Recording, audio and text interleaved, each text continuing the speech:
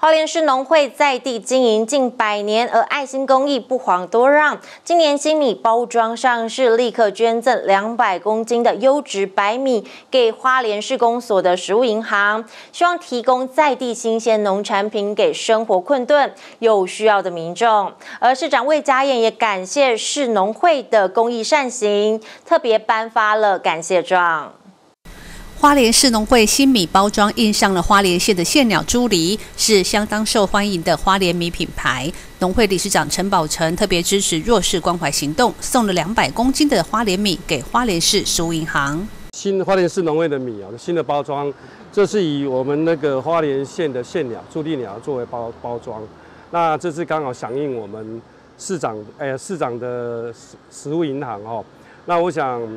对于花莲市的低收入户哦，帮忙非常大哦。那我们花莲市农会本着过去一直以来对社区的服务，还有社区的弱势团体哈，我们都会尽量来帮忙哈。那这次刚好响应我们市长哦，那不止在米的部分，尤其在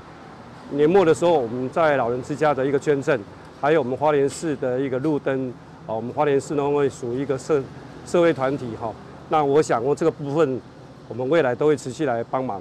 啊，也来响应我们市长这样一个好的一个政策。花莲市长魏家燕感谢市农会常年来的捐助，让弱势民众可以获得实质上的帮助。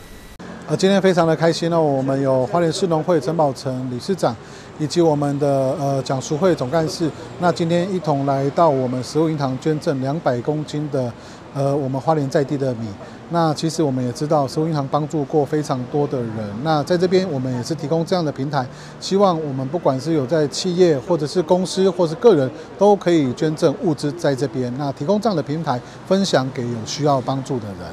市农会理事长陈宝成也表示，未来农会超市也会捐赠干货食品来充足食物银行，更希望可以发挥抛砖引玉效果，呼吁更多的企业社团来关怀弱势。谢瑞会欢迎市报道。